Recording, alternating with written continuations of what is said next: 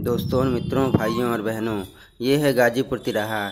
इस तिराहे से होकर लोग मऊ होते हुए आजमगढ़, बलिया, गाजीपुर के लिए जाते हैं और मऊ शहर में कलेक्ट्रेट भीटी और ब्रह्मस्थान मिर्जाजीपुरा के लिए लोग जाते हैं।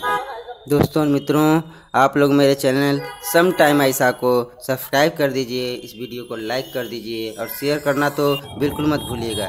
ये है पेरिस प्लाजा और भी मार्ट। भी मार्ट में लोग खरीदारी करते हैं और पेरिस प्लाजा में चाय नाश्ता और खाने के लिए लोग जाते हैं।